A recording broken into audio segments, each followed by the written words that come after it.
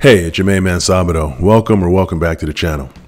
Um, you know, it's funny. I was in a conversation with a good buddy of mine who has a son in his 20s, and we talked a little bit about, you know, as adults talk about their kids. He was mentioning to me that he's having a hard time having his fun, his son understand the importance of, of saving money and, and how to do it. And I, I, I what I mentioned to him was, you know, one of the reasons that he may not be saving money is he may not know how. I mean, it's it's easy to kind of talk about saving money, and I think people can intellectualize the importance of saving money. But the reality is, is I think people's minds work in a in a way where they say, you know, what does it mean, and how do you do it? And so, today's video is really geared towards, you know, either a those of you that are in your 20s and that that want to retire early or want to figure out what can I do to get in on this uh, and and and retire at, some point in my life, or B, those of us that have younger people in our worlds that we want to try to explain. Uh, how to retire too. And, you know, I'm not going to go into an incredible amount of detail on each of the things. I'm not going to do these huge deep dives because I think this is an area that can get incredibly complicated. And my goal isn't to complicate the situation. My goal is just merely to either create um, the talking points for you when you're talking to somebody or to, to create the understanding to be able to ask the right question because it's my hope, you know, that you take the information that we talk about here and you validate that for yourself because everybody's circumstance is a little bit different. And I, before we get into it, I do want to mention that I am not a financial advisor never even played one on TV, uh, but I did uh, find financial independence and was able to retire early at uh, 51. And so, uh, what I'm basically doing is, is trying to help uh, share uh, my experience with you in hopes that it may help and inspire you to uh, to find your path to financial independence and, and potentially uh, retire early. So uh, so the the first, you know, so first things first, um, you know, the question becomes, you know, why should you care about retirement in your twenties? And you know, you're probably just starting your career, you know, paying off student loans or thinking about your vacation, your next vacation. But you know, the one thing that starting early means is that you can fully take advantage of something called compound interest.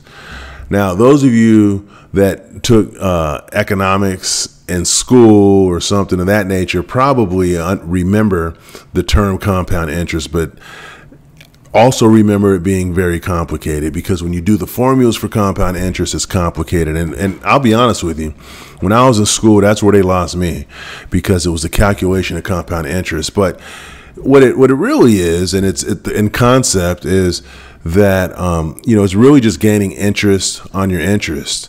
So it starts to you start to see how starting early, even in small amounts, you know, can really uh, have a significant impact on building your nest egg.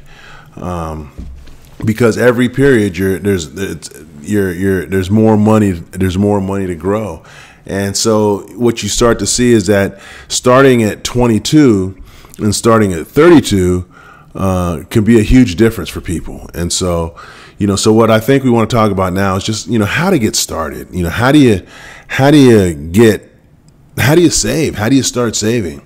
And so the, the first thing you want to do, and, and we're going to focus on a couple of areas in terms of building that real solid foundation. Um, and, and one of them is, is creating a budget.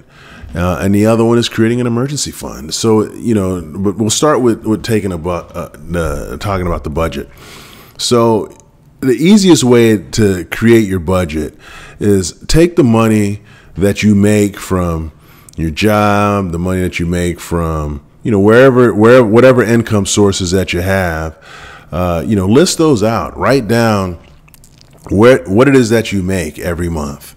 And then take your expenses and write your expenses right down next to them. When I was uh, working, I had a boss once that said, you know, he always talked about budget actual variance. Well, in this one, do income expenses, and then you, it gives you an idea to understand what's left over because what the, the goal of the budget is to help you identify where you have cash to invest. Um, quick story when I was, and I think I mentioned on the channel at one point, is when I was uh, in my 20s, I, I was broke. I was perpetually broke.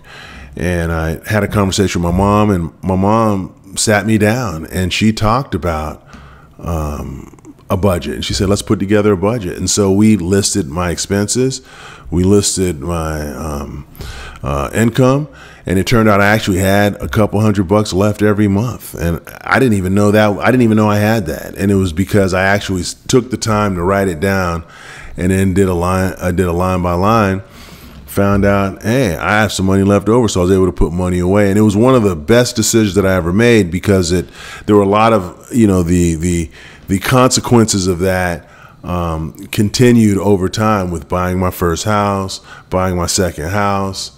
Um, you know, and eventually, again, finding financial independence at 51.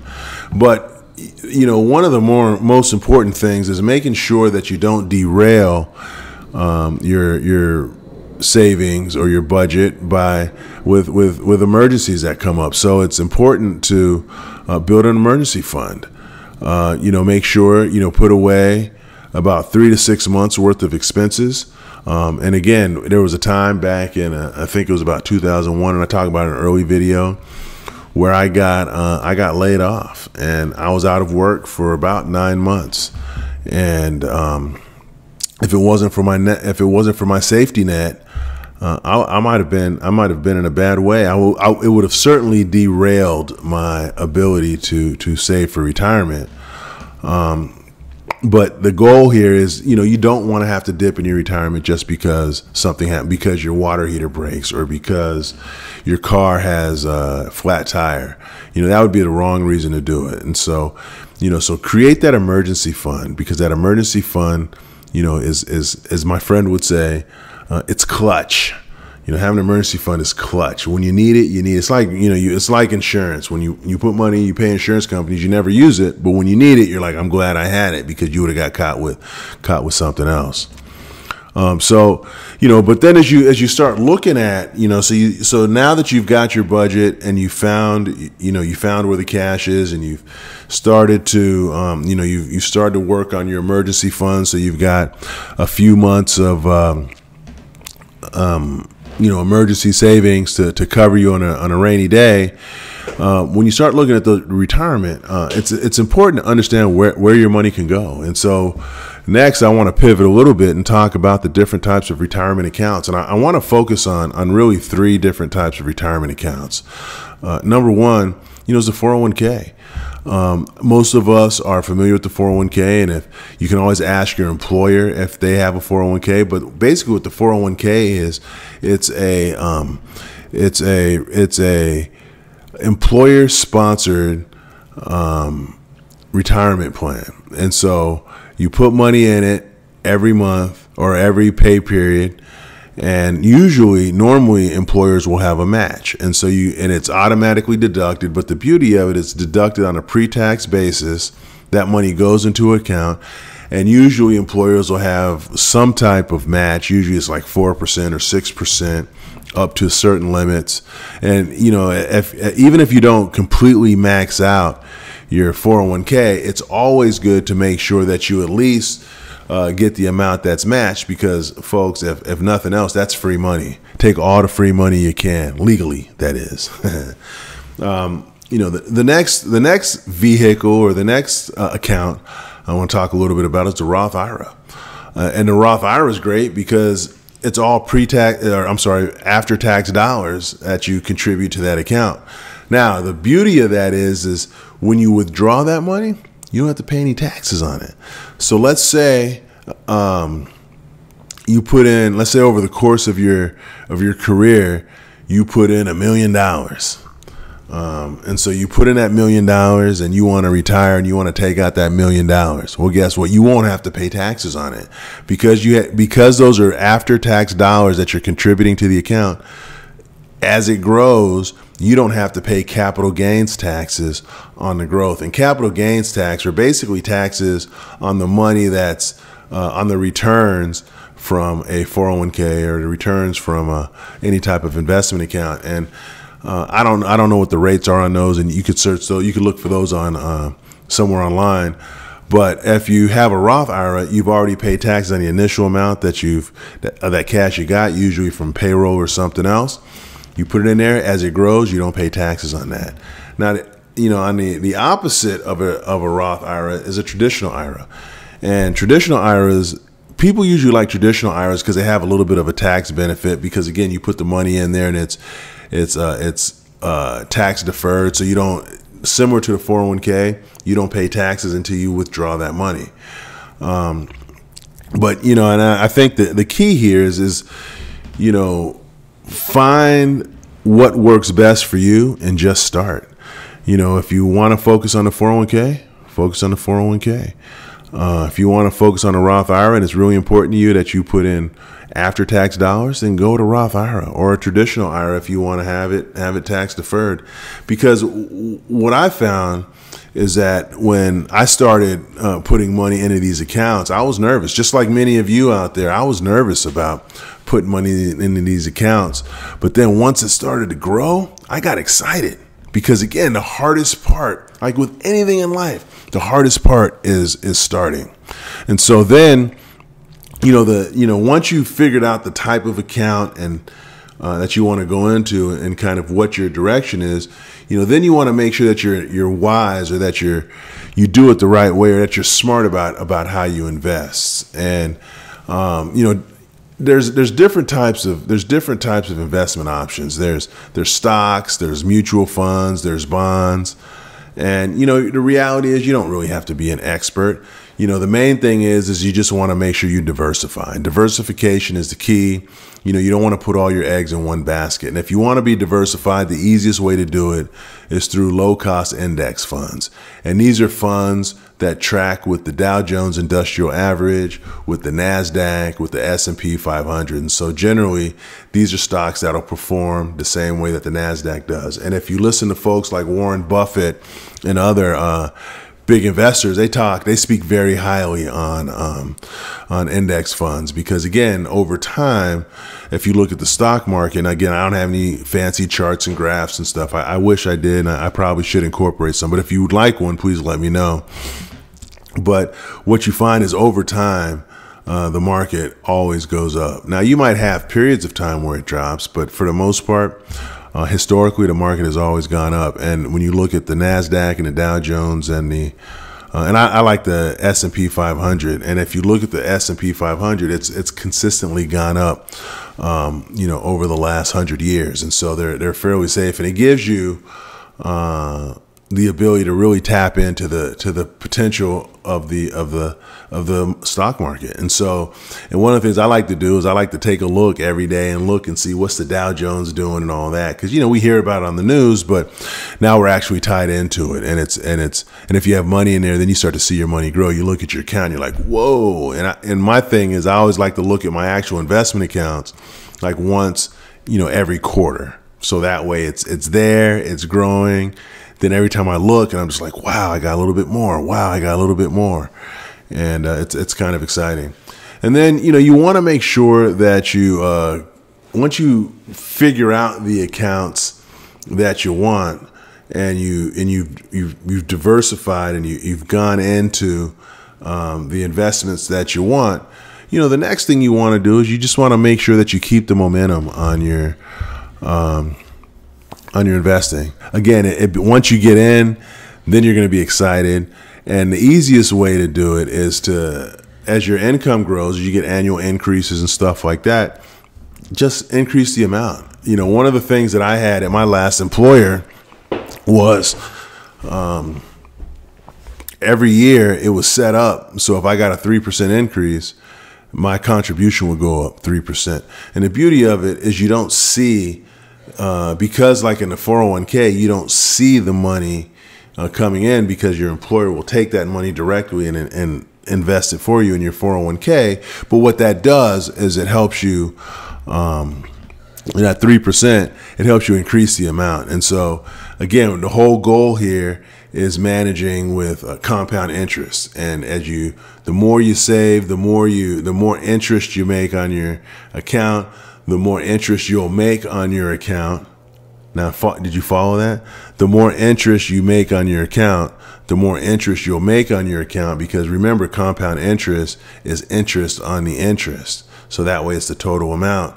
Um, you know, so the more you put in, and you also want to avoid things like high interest debt, uh, like credit cards and, and things like that, because, uh, you know, you're paying 20%. You know, if you, you go this year, I think in, in one of my accounts, I, I made 19%, you know, the market's rebounding and such, which is great. But remember, a lot of these credit cards are uh, 20%. And so if you make 19%, and your credit cards are 20%, then you're negative net um, 1%. So you, you want to make sure that you that you manage that debt and and you know my I, I think one of the keys are and, and the way to find financial freedom is to uh, is to to minimize your you know minimize your credit card debt. Actually try to get out of it 100% now i recognize that uh, different people's situations are different, and not everybody can do that. And you know, I again, I do recognize that, and um, you know, don't don't put yourself on the street trying to save for retirement, but you know, take that money that you can and put extra amounts towards your credit card debt because eventually you want your credit card debt to get down. And when people ask me and they say, Salvador, what's the number one thing that you think helped you get to uh, financial independence? And my number one thing was debt management. I never kept car payments longer than I needed to because I always wanted to use my cash flow to, to invest. Um, I never, you know, I, when it came to credit cards, I paid off my credit cards uh, this is years ago, but I paid off my credit card, high interest credit cards, so I could take that money and I can invest it. And then it got to the point that whenever a bonus or something would come in from work, instead of having to pay off a big credit card or a car note or something like that, what do I do? I invest it. And so, you know, it's it's almost like it becomes a self-fulfilling prophecy. Most of the time when we talk about self-fulfilling prophecies, we talk about something negative. But folks, this is a self-fulfilling prophecy of the positive kind and this is something that could really be a game changer as my buddy would say clutch. It would be clutch. Um, so just you know try to avoid uh, you know stay the course and, and, try to avoid that debt.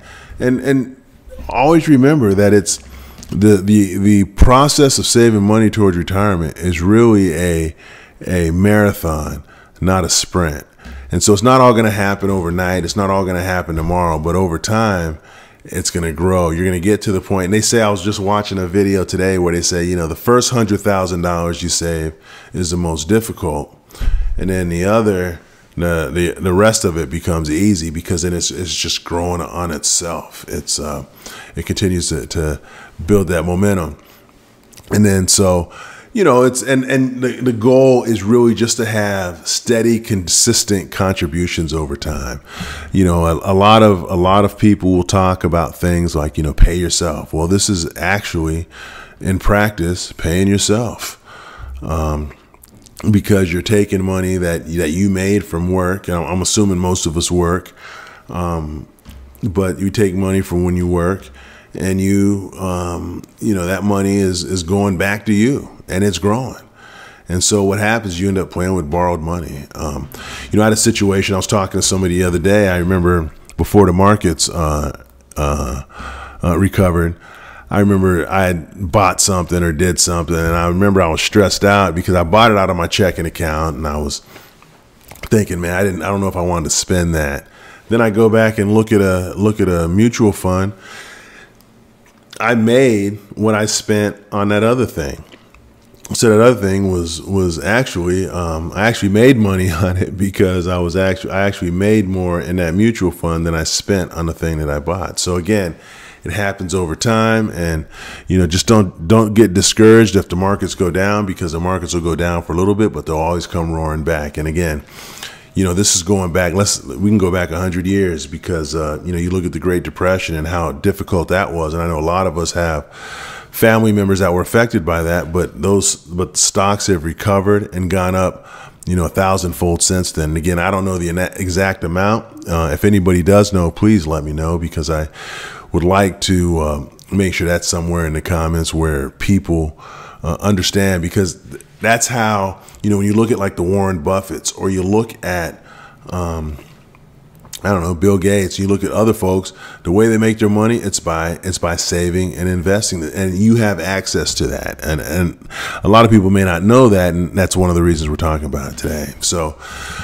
Um, that's about all I had for today. Um, you know, I, I think that um, the the idea of saving for retirement uh, seems complicated, and I think for those of you that are in your uh, twenties, uh, I know you have a bunch of people trying to uh, talk to you about saving a bunch of money and, and, and eating Starbucks and, or drinking Starbucks and eating avocado toast. And, you know, I'm not, I'm not here to advocate for, for not doing that, but just make sure that you take a little bit um, for yourself. So feed yourself, feed your soul with your avocado toast and your coffee, but also uh, feed your future with a little bit. And, and even if it's a small amount, even if it's 20 bucks, 50 bucks, 100 bucks, you know, over time, it just continues to grow. And historically, um, people that start in their 20s, uh, you start now with a hundred, two, three hundred dollars a month. You can make some significant dough by the time you hit retirement age. So,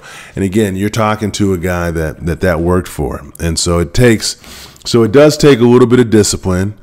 Uh, it takes some planning.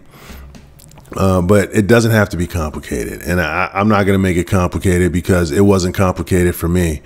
Um, I, I, think in an early video, earlier video, I talk about the book that I read when I was 22, um, "The Nine Steps to Financial Freedom" uh, by Suze Orman. And um, if if we get to um, 500 subscribers, because um, we're at 300 now. Um, but if we get to 500 subscribers, maybe we'll do a uh, maybe we'll do a raffle um, for that book and uh, send that book out to somebody so you have a, a, tool to read. So if if anybody would be interested in that, please let me know in the comments below, and um, maybe we'll make that happen. And I'll if that is the case, if that is indeed the case, and you are interested in that, um, then we will. Uh, I will respond in a uh, either a short or a, a message just to confirm that, that we are going to do that. But I, I, just think it was a book that changed my life because it took things that seemed really complicated, similar to what I'm trying to do here, but making it really simple. And it gave real nine, uh, real nine, real simple, easy steps that fundamentally changed my life. And you know, again, helped me because it helped me get to um, financial independence, and I was able to retire at 51. So. Uh, that's about all I had. Um, you know, if you uh, like the channel, um, and you know, consider subscribing. Um, you know, I put up I put up comment uh, content regularly. Um, I usually do uh, two long form videos like this uh, during the week on uh, Saturday and Wednesday. And then I do uh, YouTube Shorts all the time. So you'll see shorts. If you go on there and you see shorts, and you look for Ask Ask Sabado, uh, you'll see a bunch of shorts for me. And or if you go to my page, you'll see everything. And if there's a if there's something that you would like to talk about, let me know. Uh, let me know. Um, you know, I, I respond to um, all of my um, uh, comments with either a, a thumbs up, thumbs down if it's not constructive, or and I don't have any thumb down, thumbs down on there. Um, but I, I, respond to all my comments with either a, some type of uh, impression or um, I, I, write back. If you have a question, I'll write you back. I, am you know, I, I, think it's important because the reality is, is for all of us to kind of teach the, we're a community and we have a responsibility to each other to help each other live our best lives. And, you know, the way that I'm helping our community here is by just giving people information about what worked for me for, for retiring earlier. So on that note, I think we're, we're good. Um, but if you have any questions, again, please leave them in the comments. And on that note, have a good day and I will talk to you soon.